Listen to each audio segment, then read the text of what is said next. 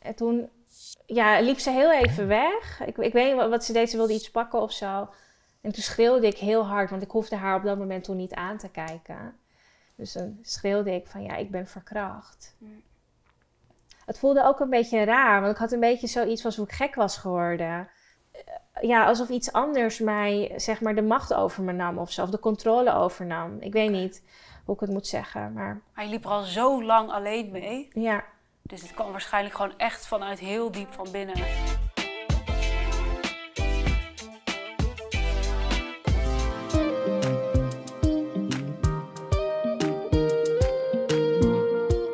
Welkom bij weer een nieuwe aflevering van Spot On. Er heerst nog steeds een taboe rondom het praten over een ongewenste seksuele ervaring. Ik ben vandaag met Mira en zij is zo'n 14 jaar geleden verkracht en heeft daar heel lang niet over durven praten. Eh, welkom Mira. Denk je. Ontzettend goed dat je er vandaag eh, bent. Zit je een beetje comfortabel erbij? Is het lastig om het hier weer over te hebben? Nou, comfortabel zit ik er niet bij. Ehm, inmiddels heb ik het wel vaker mijn verhaal gedeeld. Dus in dat opzicht ehm, weet ik wel ehm, hoe, dat, hoe dat gaat, hoe dat Mm. voelt. Uh, maar ehm, ja, ik blijf het wel lastig vinden. Ja. Heel begrijpelijk, we gaan er rustig doorheen. Mhm. Ehm, kan je me vertellen wat daar nou 14 jaar geleden is gebeurd? Ik ben eh 14 jaar geleden ben ik verkracht door een eh, goede vriend van mij van destijds. En ehm, ja, ik was nog maagd. Achteraf gezien weet ik ook niet of ik dat erbij hoef te zeggen, maar om even aan te geven van eh, hoe dat voor mij was, omdat ik mijn maagdelijkheid bewust wilde bewaren voor degene met wie ik zou trouwen. Ja, En eh, ja, dat is echt doelbewust van mij afgepakt. ja.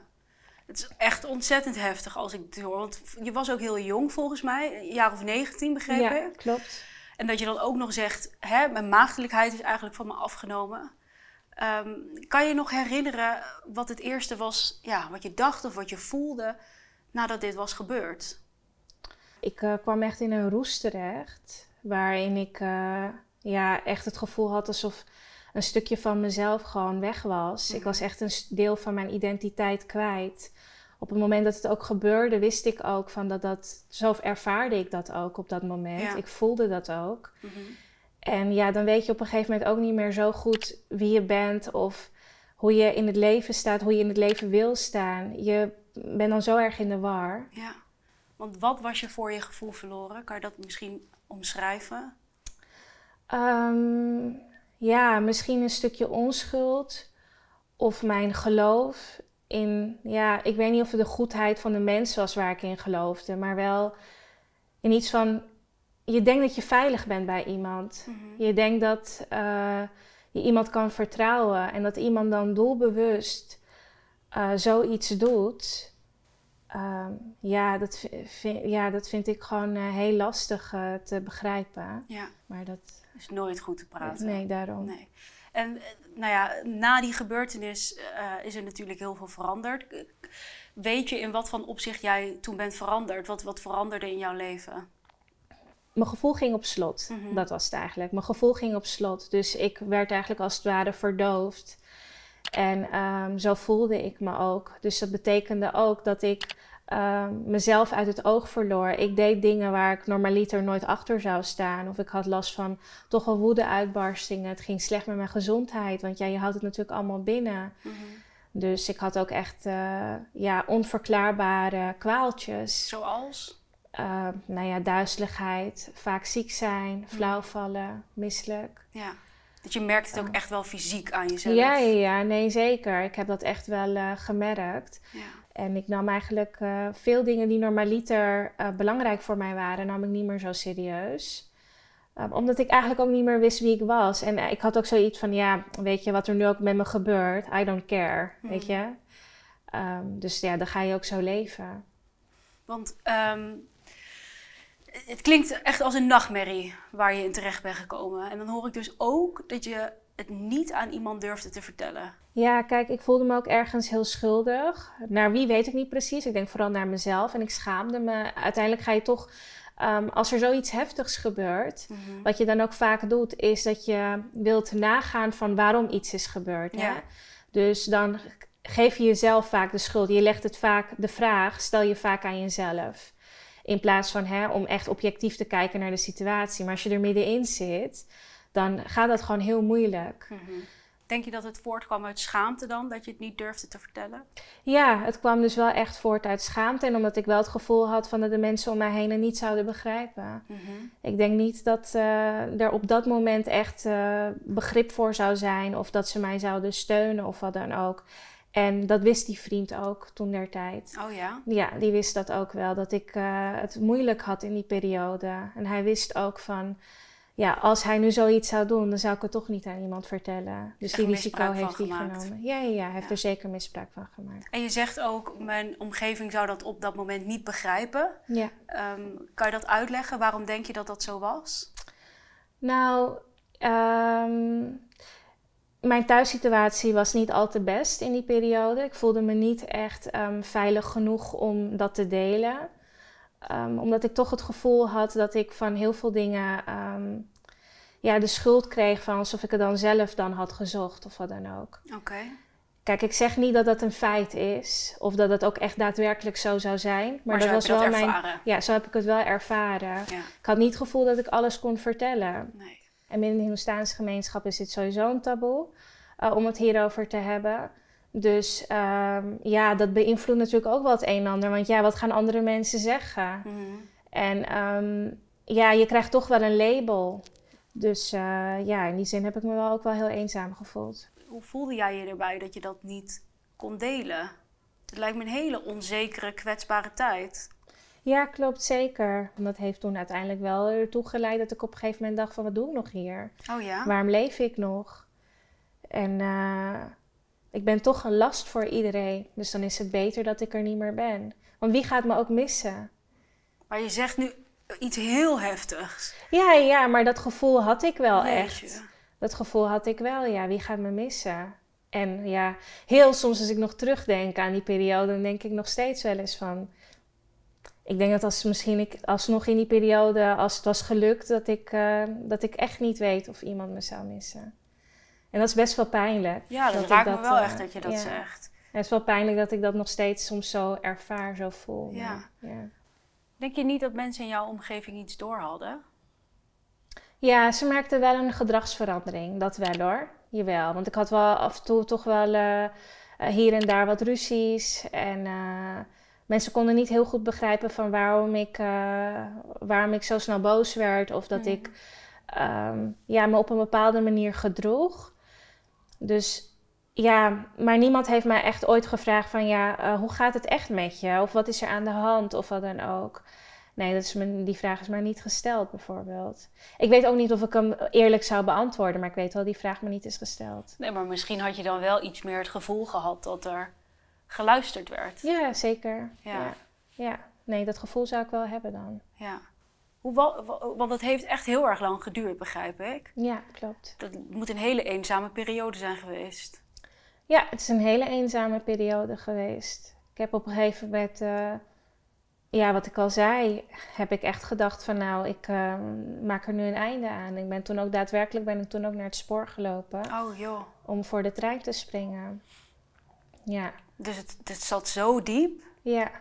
Het zat gewoon Jezus. heel diep, omdat ik me zo eenzaam voelde. En eenzaamheid kan gewoon heel veel kapot maken. Mhm. Als je daar niet de juiste begeleiding voor krijgt, ja, dan doet dat gewoon heel veel met je. Maar je bent dus echt naar het spoor gegaan omdat je dacht, dit, dit werkt niet meer. Ja, ik ben toen naar station Diemen gegaan. Mhm. En uh, ja, ik, ik, ik leefde gewoon in een roes. En ik dacht, weet je, het is, uh, het is klaar nu. Dan ben ik ook straks geen last meer, voor niemand niet.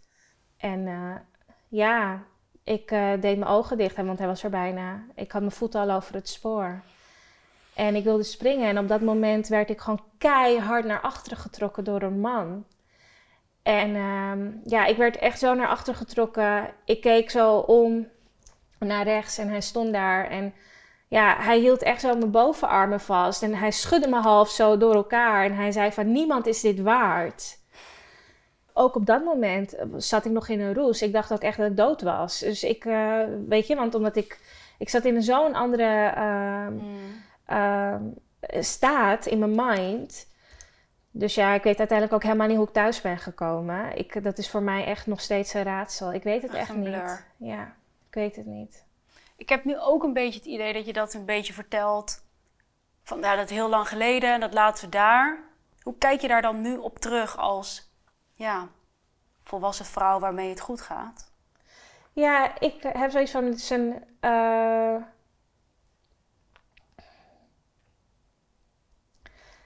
het is een periode die mij heeft gevormd. Het, Het is, raakt je wel, merk ik. ja, ja, ja, het is wel een van de keerpunten geweest in mijn leven. Mhm.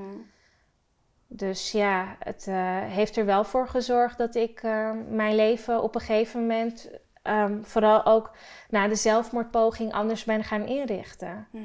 Omdat ik inderdaad op dat moment dacht van inderdaad, niemand is dit waard. Ja. Want hoe ging het vanaf dat punt? Vanaf dat punt heb ik toen op een gegeven moment, ehm, be- heb ik toen wel aan de bel getrokken. Oké. Ehm, en dat was bij een docente van mij. Mhm.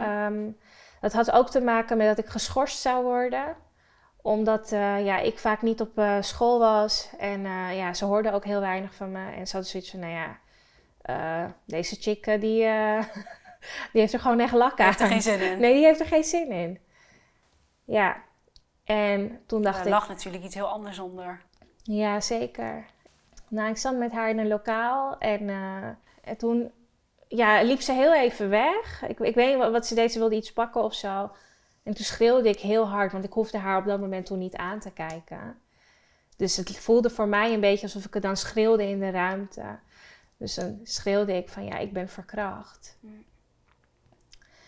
Ja, en zij is daar toen heel erg van geschrokken. Ja. Ja, Mhm. ja. En we moesten ook wel echt even bijkomen, een paar minuten. Ja. Ja, en ik was sowieso wel ook in shock dat ik het had verteld. ja, want dit was voor jou ook echt de eerste keer. Ja, ja, ja, want ik eh, was zelf in shock dat ik dat überhaupt zo schreeuwde. Ja. Eh, dus het zat zo diep in mij dat het er echt uit moest komen. Dus eh, ja, dat, dat had wel een impact gemaakt op ons beiden. En Ja. zij heeft er toen vervolgens voor gezorgd dat vrij snel een maatschappelijk werker toen eh, op school is gekomen. En toen ben ik met haar aan de slag gegaan om in ieder geval mijn diploma te halen. Ja. En vanaf dat moment ging het ook beter. Maar dat was voor jou dus echt de eerste keer eh, dat je dit zei. Hoe voelde dat? Ja, wel heel pijnlijk moet ik zeggen hoor. Want omdat ik het ook vooral zo uitschreeuwde. Ja. Dus eh, het voelde ook een beetje raar. Want ik had een beetje zoiets alsof ik gek was geworden. Eh, Ja, alsof iets anders mij, zeg maar, de macht over me nam of zo. Of de controle overnam. Ik weet niet hoe ik het moet zeggen. Maar Maar je liep er al zo lang alleen mee. ja, Dus het kwam waarschijnlijk gewoon echt vanuit heel diep van binnen ja, dat het eruit moest. ja, Hoe is het vanaf daar gaan? Want je zegt, ik heb een maatschappelijk werker gekregen. ja. Is dat ook een punt geweest waarop je het eh, bijvoorbeeld tegen je familie durfde te vertellen? Ehm, nee, niet zozeer. Nee, nee dat is eh, niet eh, toen gebeurd. Nee, ik heb het eh, ook niet. ik heb het niet heel uitgebreid ook met haar daarover gehad. Het was eigenlijk de focus om mijn diploma te halen. Hmm. Welke stappen we kunnen zetten. En dat als ik me eenzaam voelde of ik voelde me. Ik zat niet lekker in mijn vel of zo, dan was zij er voor mij.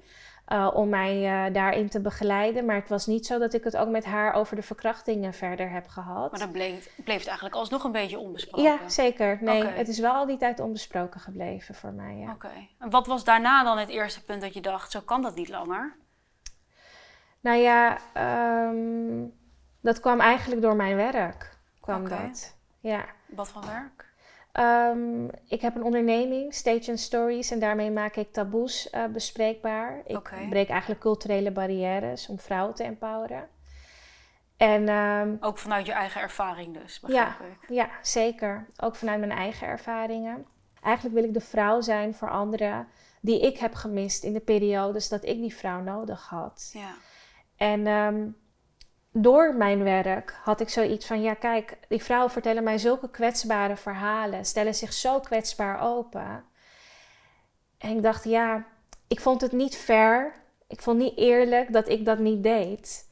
Ik had zoiets van: ehm, het wordt dan toch echt tijd dat ik ook mijn verhaal deel.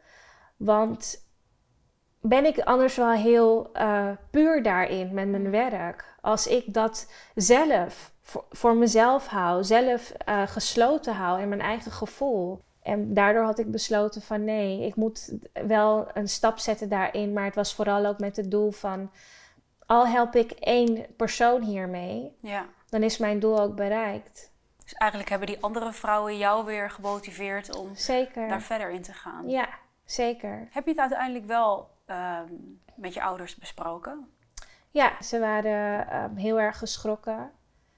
En eh, ja, het, het heeft ze wel heel diep geraakt. Dat wel, ze voelden zich ook wel heel schuldig. Oké. Ehm, omdat ze het gevoel hadden dat ze mij niet genoeg hebben beschermd. Hm. En eh, ja, en ook dat ik me natuurlijk heel alleen heb gevoeld. Ja. Dat eh, heeft ze ook heel veel gedaan. Hoe was het voor jou om dat te horen? Want dat was eigenlijk een grote angst om dit uit te spreken. Doe je Ja. dat na al die jaren?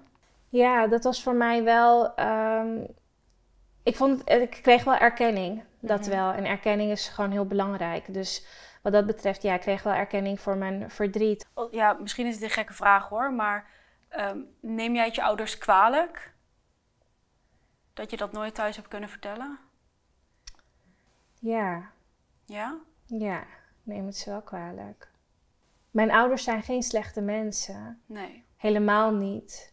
En ik hou heel veel van ze. En ik weet ook dat ze heel, dat ze heel veel van mij houden. Alleen het had niet gehoeven.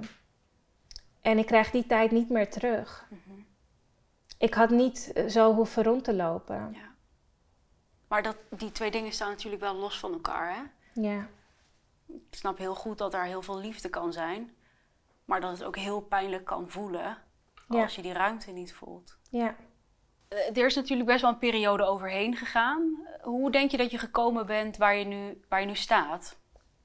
Ik denk dat het komt doordat ik de woorden van die man ook echt heb onthouden van niemand is dit waard. Dat ik meer naar mezelf ben gaan kijken van wat wil ik. En van daaruit, vanuit die gedachte, vanuit dat gevoel, ben ik ook gaan handelen. Ik moet, ik moet van mezelf gaan houden. Maar om op dat punt te komen van zelfliefde, ja, dat is natuurlijk een heel proces. Dus dat betekent Mm. ook dat ik mijn gevoel moet toelaten. Dat ik me verdrietig mag voelen. Dat ik boos mag zijn. Dat ik me zo erg eh, mezelf had opgesloten van binnen en niet uitbrak. Ja, dat gaat natuurlijk allemaal rotten van binnen. Ja, En dat, dat levert niks goeds op. In die tijd ben ik eh, veel gaan schrijven. oké. Ja, schrijven is voor mij echt een uitlaatklep. Het is echt een verwerkingsproces, een helingsproces voor mij ook wel. En eh, ik ben al mijn gedachten en mijn gevoelens gaan opschrijven. Dus ook als ik boos op mezelf was, ben ik dat gaan opschrijven. Het heeft me heel erg geholpen. Ik weet hoe het was van op het moment dat ik dan schreef, Mhm. van hoe ik me voelde. Dat gevoel heb ik nu niet meer als ik schrijf. Maar ik voelde me heel, heel eenzaam. En om dan de kracht te putten uit, van, hè, van uit, je, uit jezelf, uit je eigen gevoel, hè, op het moment dat je aan het schrijven bent. Mhm. Um, en te weten van dit gaat me kunnen helpen. Um, dat geloof hebben daarin van iets gaat je kunnen helpen, iets gaat je eruit halen. Ja, dat is wel moeilijk hoor, als je zo, als je zo eh, rot voelt, als je zo verdrietig voelt. Mhm. Dus ja, ik heb dat wel echt, eh, ik heb echt eh, uit elke cel van mijn lichaam heb ik dat eruit moeten persen, zowat. Maar het is me wel gelukt. Ja, maar dat was dus wel in het begin heel moeilijk, begrijp ik. Ja, klopt. Eh, je hebt het al even kort genoemd, hè? je helpt nu ook andere vrouwen door middel van ook jouw ervaring te delen. Mocht er nou iemand zijn die kijkt en die heeft zoiets meegemaakt of die zit daar misschien nog middenin, ehm, heb je dan misschien een soort van advies? Ja, mijn advies is om je nooit schuldig te voelen. Mhm. Je hoeft je echt er niet voor te schamen. En praat erover. Ook al is het met de huisarts, al is het iemand uit je, in je eigen omgeving dat je zoiets hebt van, nou, ik voel me veilig genoeg bij die persoon. Ja. Je hoeft het ook niet alles te vertellen. Je kan ook kleine delen vertellen. Mhm. Maar dat je ergens troost uit kan halen. En als je echt het gevoel hebt van ik heb echt letterlijk niemand, weet dan dat je altijd jezelf hebt. Want je bent zoveel sterker dan dit. Want het feit dat dit je is aangedaan, Mhm. hè, of het feit dat je dit voelt, maar dat je het alsnog kan dragen, dat zegt ook heel veel over je eigen kracht. Dat zeg je heel mooi. Dankjewel. Ik wil heel erg bedanken voor het delen van je verhaal. Ja, thanks. Jullie bedankt voor het kijken. Heb je nou nog een vraag voor Mira? Stel dat even hier eh, beneden in de comments. En dan zeg ik voor nu tot volgende week. Dankjewel. Je hebt Yes. echt heel goed gedaan. Mag ik even een geven? natuurlijk. Je hebt het echt goed gedaan. Dankjewel. Thanks.